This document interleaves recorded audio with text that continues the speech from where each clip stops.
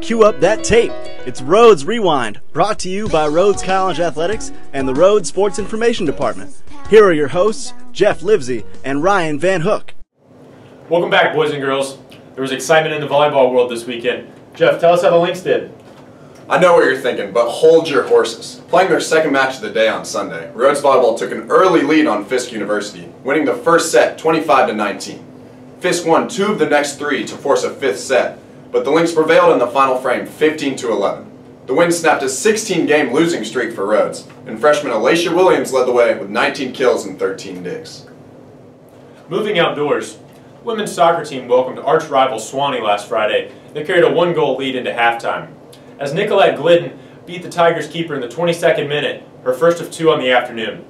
Brooke Tomlin padded the lead with a goal in the second half, and Glidden added another just for good measure, setting the Tigers, Tigers packing with their first conference loss, 3-0.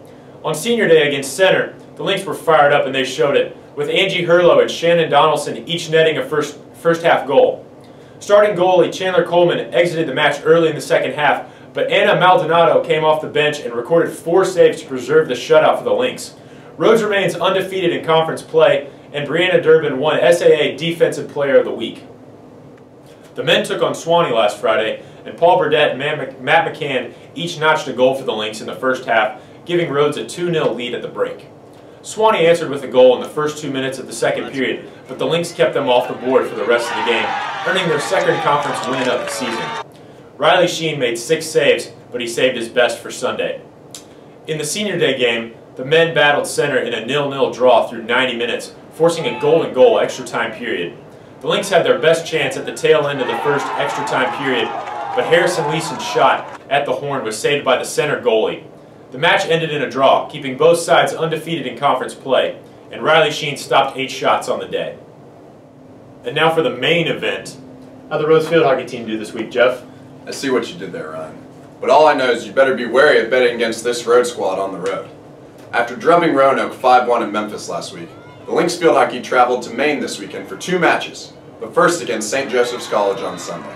In that one, Christina DeFelice put one in the cage early to give the Lynx the halftime lead, and it would become a familiar sight for St. Joseph's. DeFelice would add a second goal in the latter half just ahead of the horn, but by then, Mary Rose Hazel had netted two goals of her own. Final score, Rhodes 4, St. Joe's nada. For her role in the two wins, Hazel was awarded SA Offensive Player of the Week honors. Lynx are back in action in Maine today at Bowdoin College, the number two team in the country. That could be a barn burner, folks. And from the pitch to the greens, the men's golf team placed 10th out of 18 teams at the Golf Week Fall Invitational in Sandestin, Florida last week. Senior Scott Hamill shot a 3 over 74 to lead the team in the final round. And in the same event, the women's golf team finished fourth, with Mackenzie Cohen leading the way at 1 under on day 3.